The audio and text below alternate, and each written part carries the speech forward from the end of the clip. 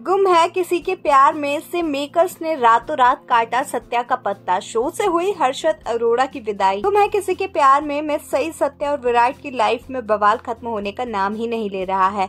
Show में आए दिन ऐसे ऐसे ट्विस्ट एंड टर्न्स देखने को मिल रहे हैं, जिसने अब फैंस को भी परेशान करके रख दिया है। गुम है किसी के प्यार में भले ही सही और सत्या की शादी हो चुकी है, लेकिन मेकर्स की हरकतें थमने का नाम ही नहीं ले रही।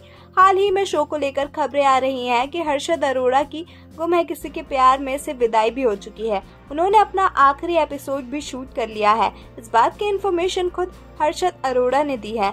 जी हाँ हर्षद अरोड़ा ने अपने इंस्टाग्राम अकाउंट से एक रील वीडियो शेयर किया, जिसमें वो शीशे के सामने खड़े होकर एक से बढ़कर एक पोजेस देते हुए नज़र आए। लेकिन रील से ज़्यादा हर्षद अरोड़ा के कैप्शन ने लोगों का ध्यान खींचा, जिसमें लिखा हुआ है फेयरवेल हर्षद अरोड़ा की इस रील वीडियो को लेकर माना जा रहा है कि उन्होंने अपना लास्ट एपिसोड को शूट भी कर लिया है और अब गुम है किसी के प्यार में के सेट से उनकी विदाई भी हो चुकी है। हालाँकि हर्षद अरोरा की इस बात से फैंस का दिल भी टूट चुका है। हर्षद अरोरा की रील वीडियो पर फैंस खूब कमेंट कर रहे हैं और अपने रिएक्शंस भी देते हुए नज़र आ रहे हैं। एक यूज़र ने कमेंट करते हुए सवाल करते हुए लिखा कि आपका लास्ट एपिसोड शूट हो चुका है?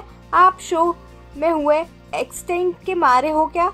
वहीं एक दूसरे यूज़र ने कमेंट करते हुए लिखा यार सत्या ने ही गुम है किसी के प्यार में को देखने लायक बनाया था। हम उम्मीद करते हैं कि आगे चलकर हैश टैग सैया ही हो।